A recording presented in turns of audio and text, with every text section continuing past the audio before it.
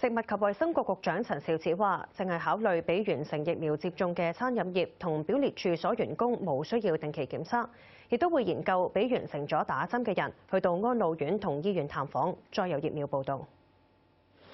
而家餐飲業同表列處所嘅員工每十四日就要做一次檢測。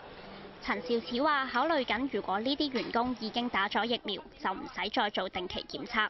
完成疫苗接種嘅話咧，係會提供相當嘅保護。咁亦都係已經完成接種疫苗嘅員工咧，係會被視為咧係符合咗定期檢測嘅規定。嚇，咁即是話咧，如果係接種咗疫苗咧，其實佢個定期檢測咧就可以唔需要啦。咁當然咧，接種咗疫苗唔係淨係接種一劑，而係咧接種咗兩劑，再加十四天。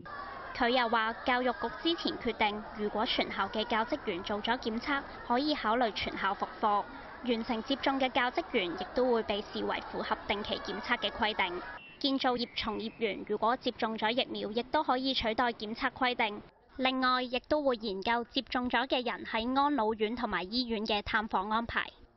咁喺公立醫院方面呢，我哋正係研究呢，係讓已經完成接種疫苗探訪者呢，喺接種兩星期後呢，只係需要提供同日快速完誒、快速原測試陰性結果，誒、便可以呢係進行探訪。咁醫管局呢，正係研究緊一啲細節。佢話疫苗接種係抗疫策略嘅重中之重，本港而家嘅接種率仲要努力。